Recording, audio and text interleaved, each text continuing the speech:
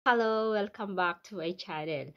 Ah, napaka-exciting ang isi-share ko sa inyo. Isang Taal evacuee ang ginamit niya ang kanyang utak ah, para lang magkaroon ng ah, panibagong pangkabuhayan.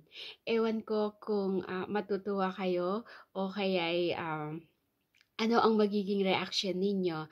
Pero ah, habang ah, naka-stage sila sa evacuation center, ay inipon niya yung mga eh, iba't ibang donasyon at saka relief good na ibinibigay ng mga ah, taong ah, ah, bumibisita doon para magbigay ng tulong.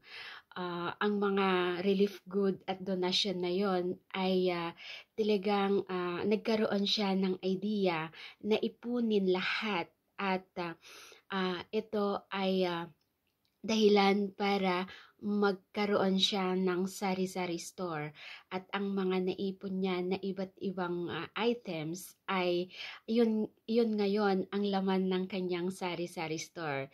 Ito ay si Christian Fin de Villa at ah, umani ng mga iba't ibang reaction sa mga netizens pero ah, I think ay ah, para sa akin ay okay lang yung ginawa niya kasi ah, nagkaroon siya ng ah, kakaibang ah, kakaibang plano na habang nasa ah, evacuation center sila ay ah, nagkaroon siya ng pag-asa at saka positibong ah, pananaw upang sa ganoon ay ah, makapag-umpisa, makapag-umpisa siya ulit. At least sa ngayon ay ah, kahit ah, wala kahit marami man ang nasalanta o kaya'y ah, nasira.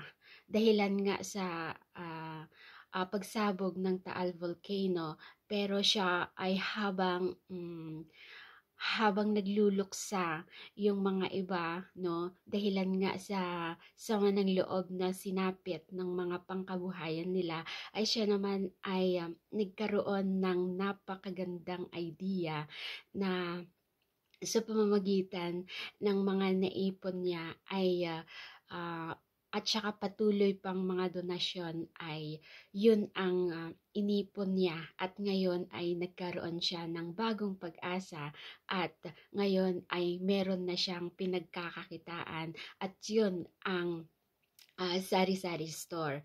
At syempre, kung mati- maging matalino, ng, matalino lang siya sa pag, ah, pagpapatakbo, ay tsak nalalagon ang kanyang sari-sari store at yun ay ah, hindi niya makalimutan na ang mga ang pinag-umpisahan niya ay mga tulong ng mga taong may mabubuting puso.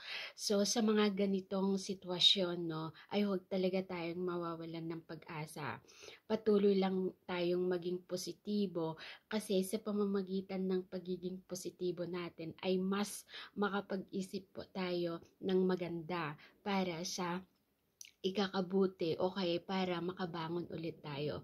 Ah, kasi kung mag-isip ka po ng ah, kung mawawalan ka po ng pag-asa ay mas lalo kang ah, ah, mas lalo kang ah, hindi makabangon Ah, pero kung sakali man ay ah, sa lahat ng pangyayari, no? Sa lahat ng mga kalamidad at mga problema, mga pagsubok, kung talagang ah, positibo ka lang at ah, manalig ka sa Panginoon, ay tsak na madali lang malampasan. Kasi gaya ng nasabi natin, lagi nating sinasabi na sa lahat ng kalamidad, no, ay ah, o kaya ah, kahit ah, man sa bagyo na pagdaanan natin ay muling sisikat ang araw na magbibigay ng bagong pag-asa.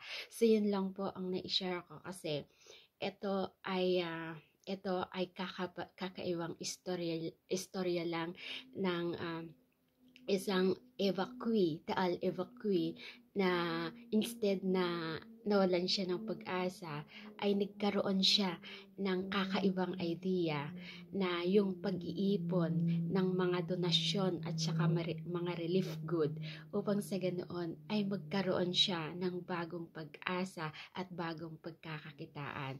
So, yun lang po ang ma-share ko ngayon and God bless po sa ating lahat.